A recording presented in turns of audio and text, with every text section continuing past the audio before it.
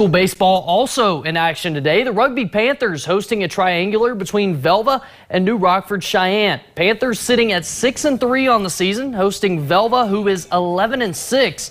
Bottom of the second Aggies, Gage Florence hits it to deep left center field and the ball goes all the way to the wall, allowing a run to score 1 to nothing Aggies. Next batter, Gunnar Mogan following it up with another deep shot to center. Two RBIs for him gives Velva a 3 to nothing lead. Top of the third inning, one on for the Panthers. A wild throw from Jersey Selzler. That brings home a run for the Panthers, but it's Velva who goes on to get the 7 to 2 win. Aggies also with a win over New Rockford Sheyenne earlier in the day.